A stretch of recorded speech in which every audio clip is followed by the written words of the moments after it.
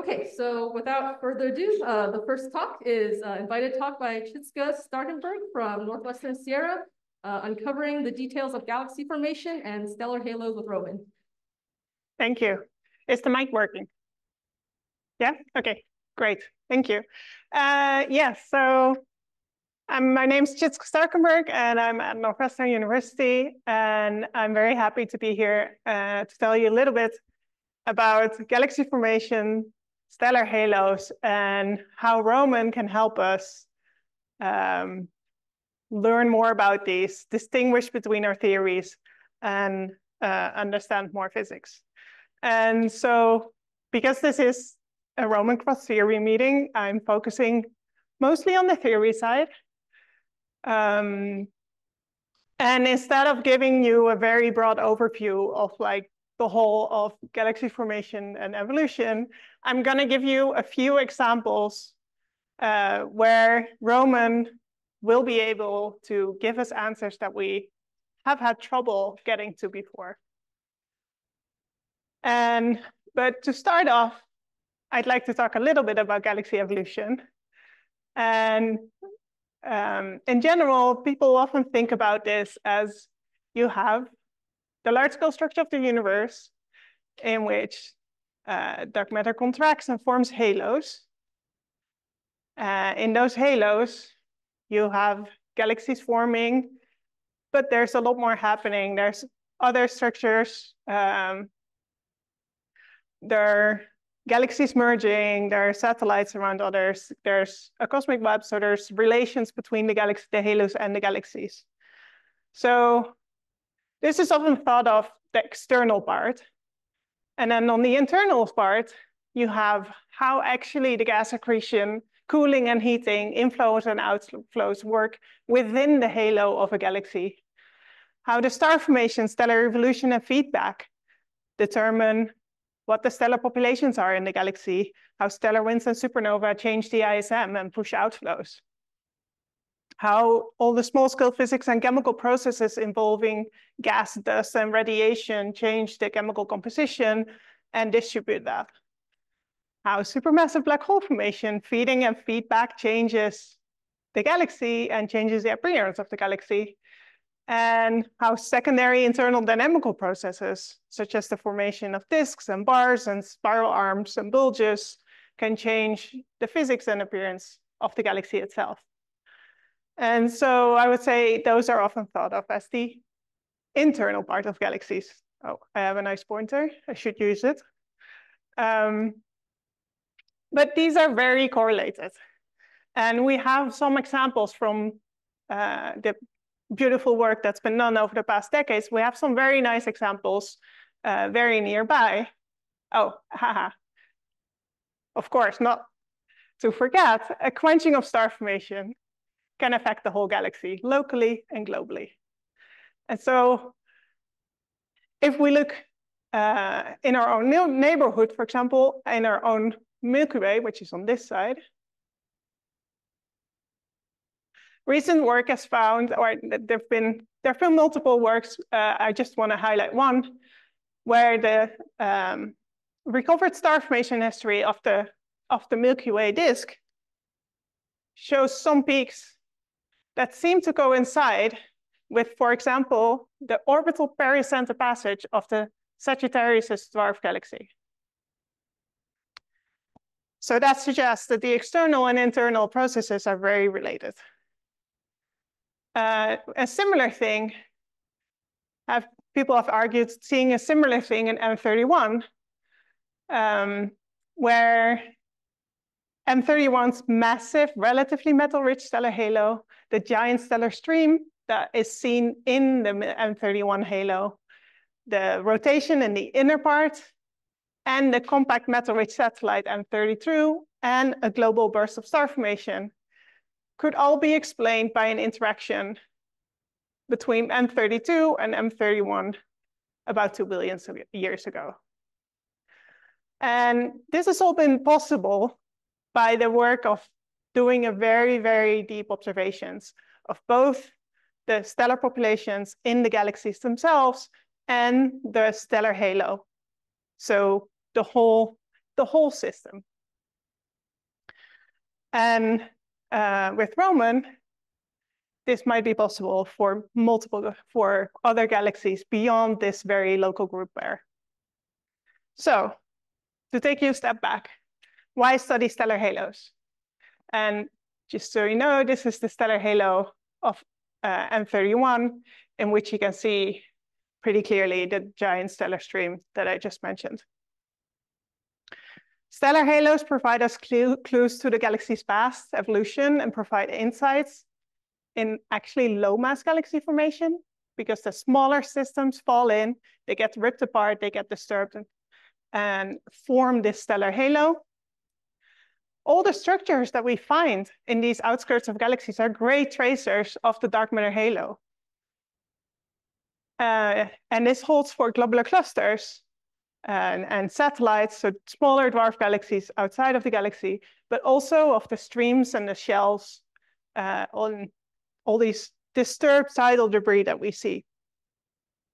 And again, in the Milky Way, especially uh, with the start of SDSS and especially with Gaia more recently, we found many, many stellar streams. And I think we're getting close to 100 stellar streams, known stellar streams in the Milky Way stellar halo. And another thing that we study uh, in the environment of the Milky Way and uh, mostly in Andromeda, what is very challenging to get for any galaxies beyond is looking at the faintest dwarf galaxies uh, that are around. And so these are two recently found dwarf galaxies, Leo M and Leo K, and they look beautiful, right? And so we need to find these for more systems to be able to understand what the, how these very faint systems look like. What, how does it depend on the environment? We only know them very, very close by.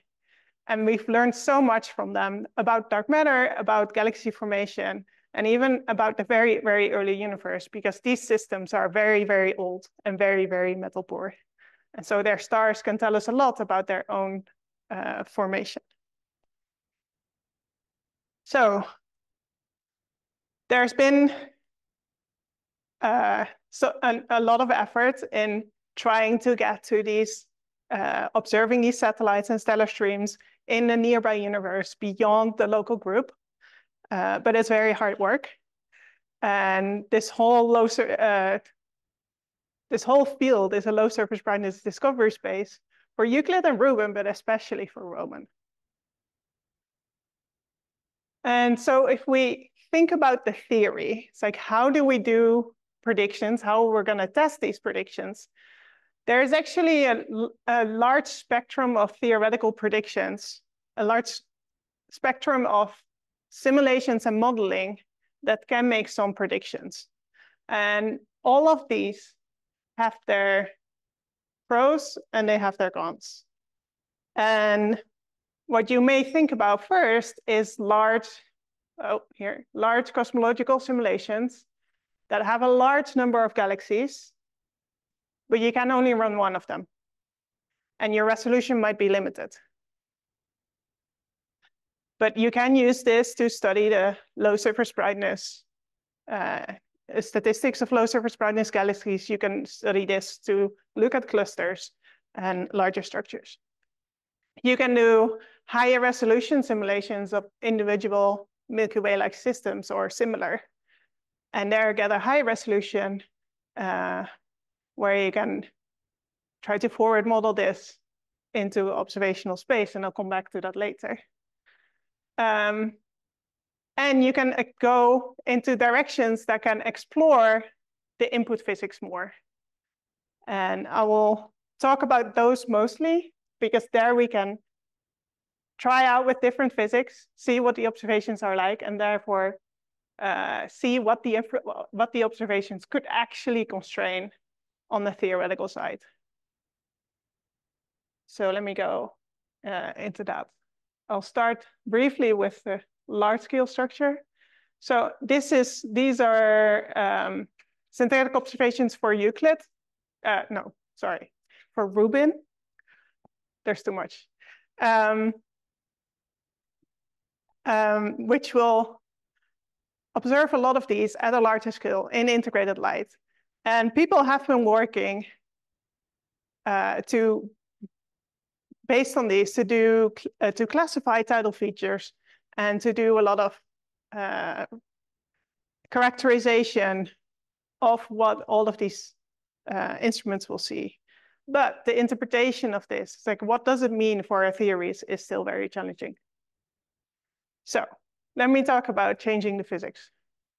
So in this example, uh, we took uh, one galaxy and changed the initial, the dark matter initial conditions in the early, early universe very, very slightly so that the system at the end had the same mass, but it had a slightly different formation history.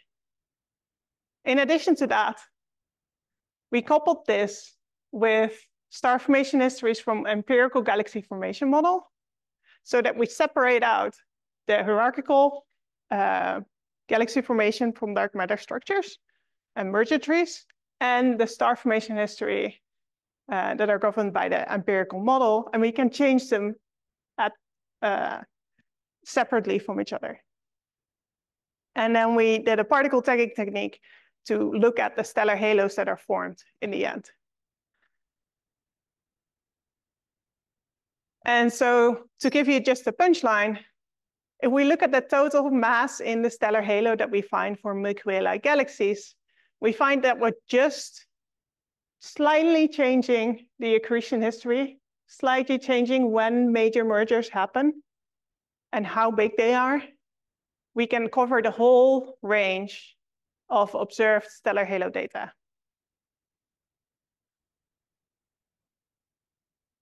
And so the, the, the diversity, the spread uh, is very big. The second thing we did is we changed the stellar to halo mass relation, which is how much stars do you assume a galaxy can make in a dark matter halo, uh, which is a very uncertain quantity at the low mass end.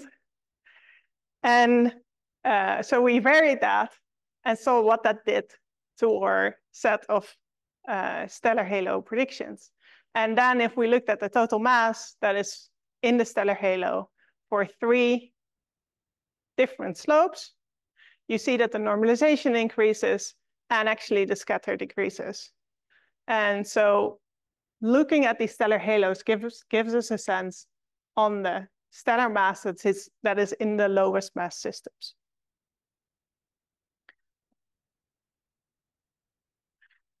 Uh, to get a larger stat uh, statistical sample of predictions, a larger statistical sample of galaxies and uh, run many, many examples uh, to get statistical predictions and being able to infer from uh, statistical observations. Another example focuses on semi-analytic modeling. And in this case, we used uh, accretion histories based on a galaxy formation uh, semi-analytic model. And we sampled the infalling orbits of satellite galaxies and in integrate those in an evolving, growing halo over cosmological time and predict the evolving substructure in that.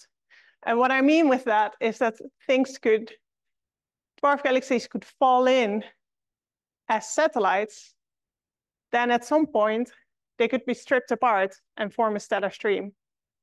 At some point, that stream may actually uh, start forming shells within the stream, or it could be completely disrupted and phase mixed, where it's not observable as a coherent structure anymore, but builds up to the whole stellar halo. And we can make this an arbitrary large sample size so that we can provide robust predictions and test the effects of changing the physics uh, on the outcome.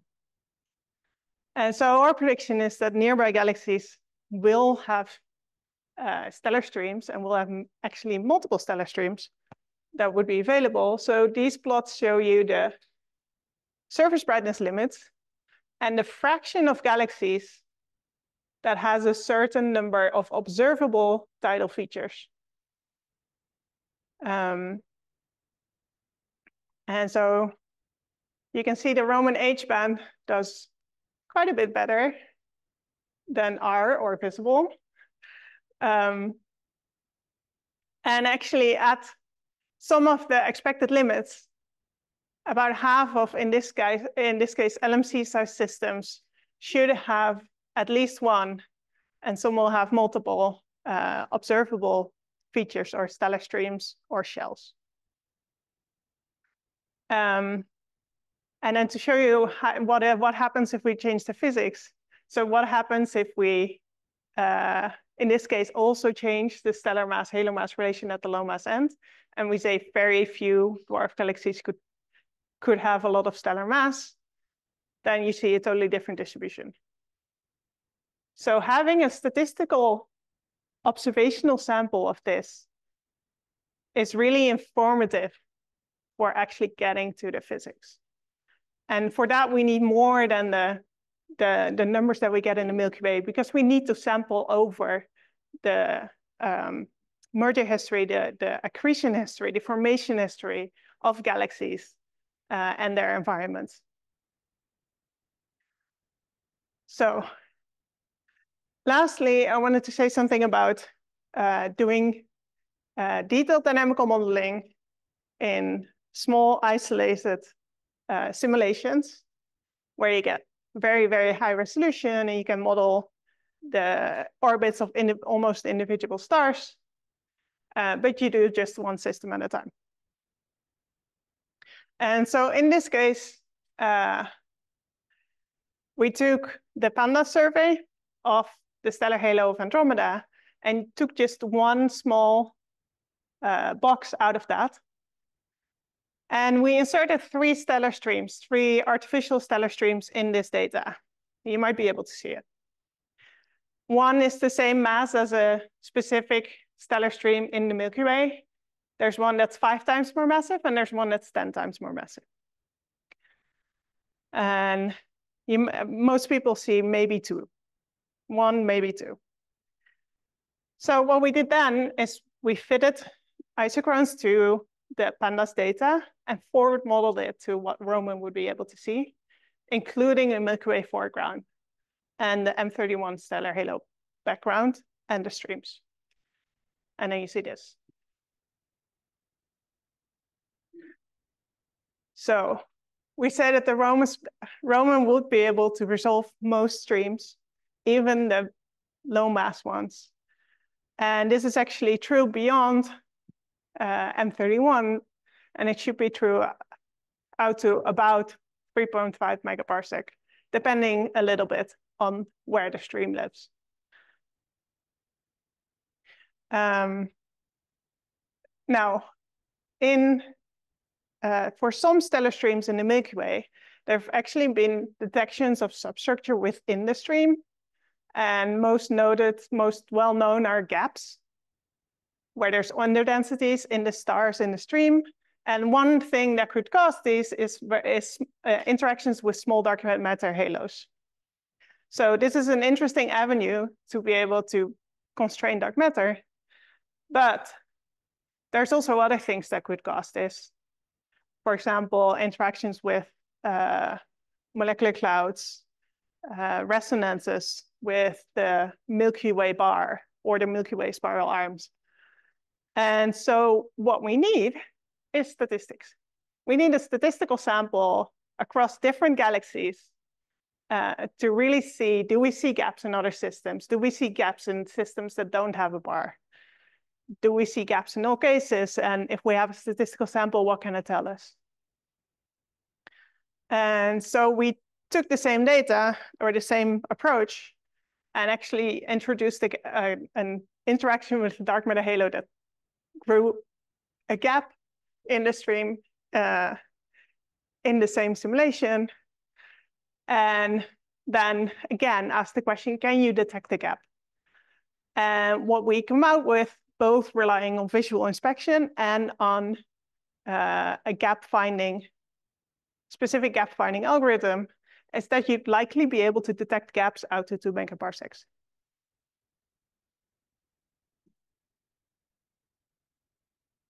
So some additional things that I won't cover in more detail um, is uh, work on a tool for predicting the re resolved stellar population observations.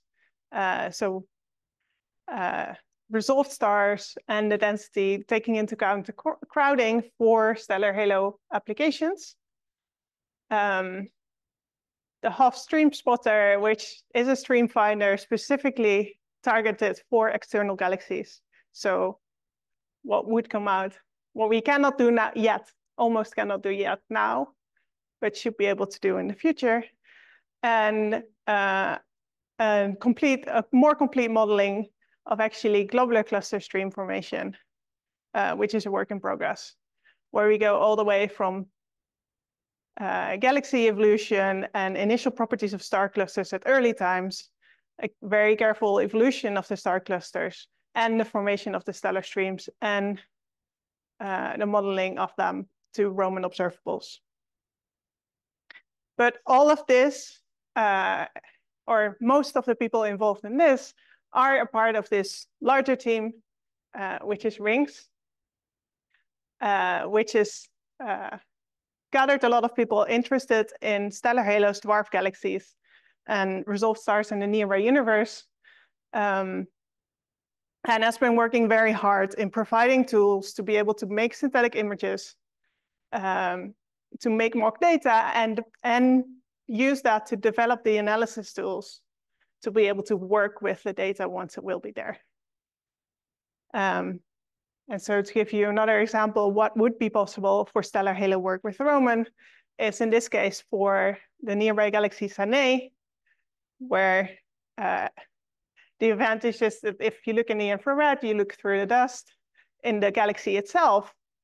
But in the halo, you cover with one pointing a large fraction of the stellar halo, which is what nothing no other instrument could do.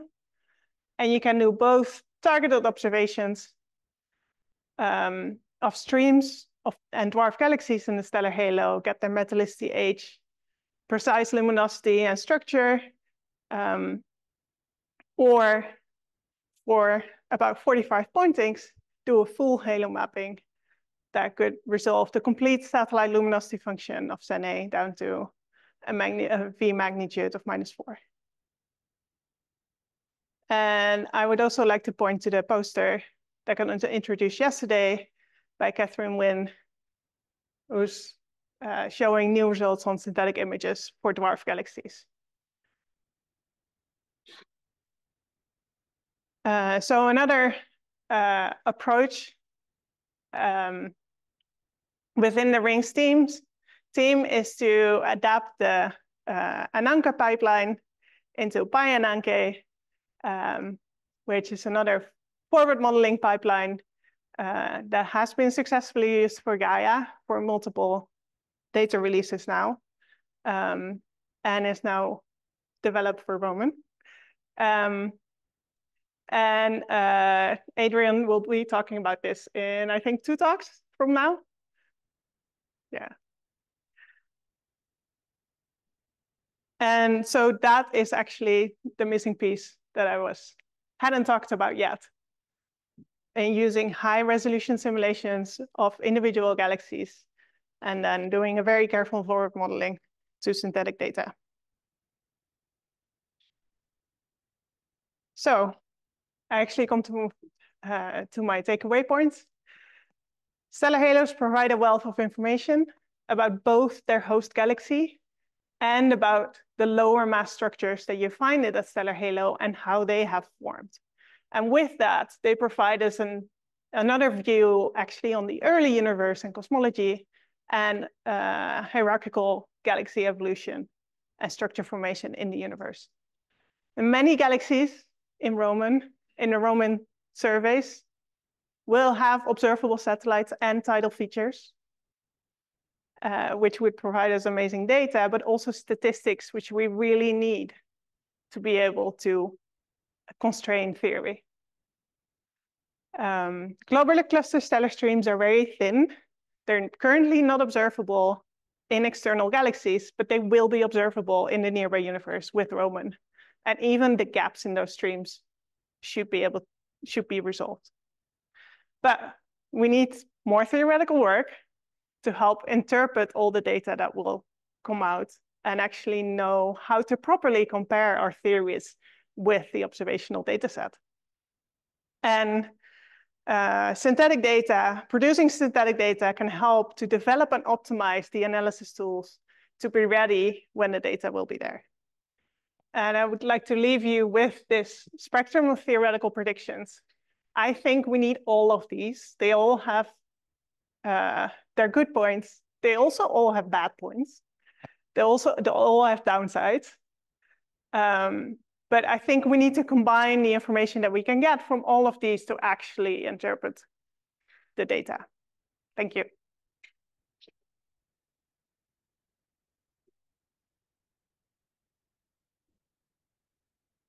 Thank you, Tjitske, for the nice talk. Um, we have any questions? Uh, we also would encourage the junior people in the audience to ask their questions too if they have any. So don't be shy.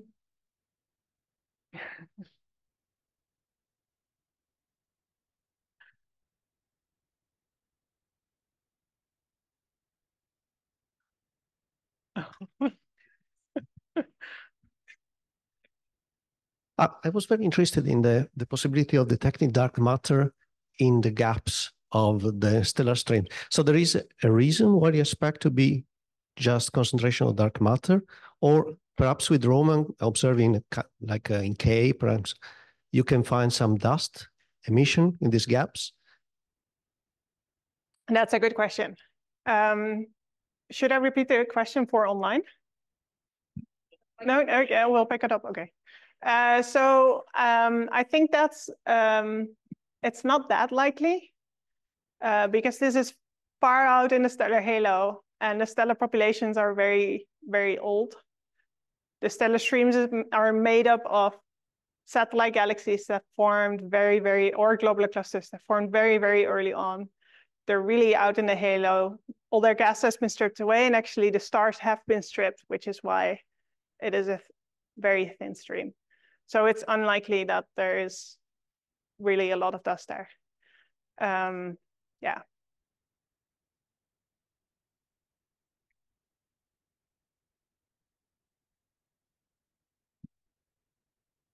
Well, uh, I just wanted to point out that uh, our team is developing an alternative pipeline, which is uh, optimized for low surface brightness uh, uh, observations for Roman. So uh, this is work led by Alex Borlaff at Ames, NASA Ames.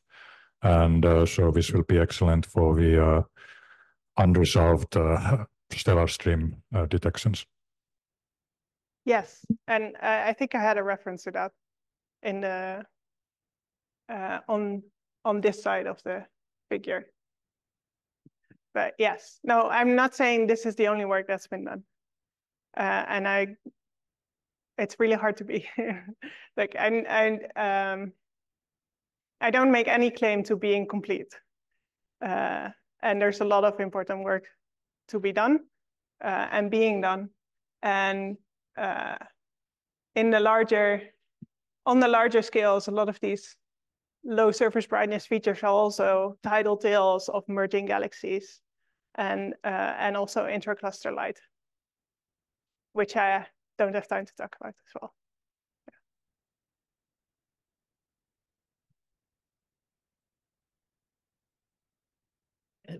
Earlier in your talk, you had said that you, with slight changes to the the merger history, you were able to reproduce the entire range of. Is that would you consider that encouraging or discouraging for the statistic? Because what are you going to make of that when you get many more? Will you be able to disentangle it, or is it just going to be so dependent on a tiny little change that? That's a very good question.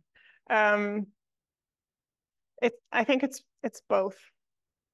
It's discouraging that there's no like very clear signal, um, but it's also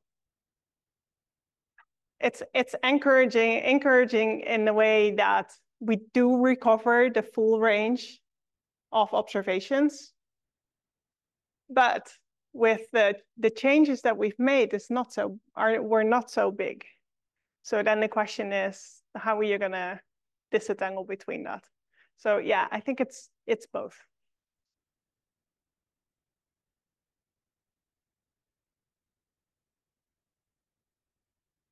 Thank you. But, oh, sorry, if, sorry, if I can add, there is, what we found is that there is actually information in the size, in the, in the size of the scatter.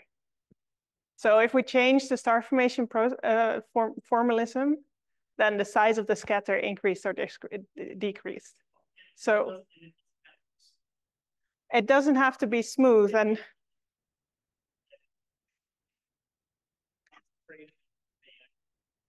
yes, yes. Sorry. Okay, I think we should move on to the next talk. So uh, thank you, Tjitske.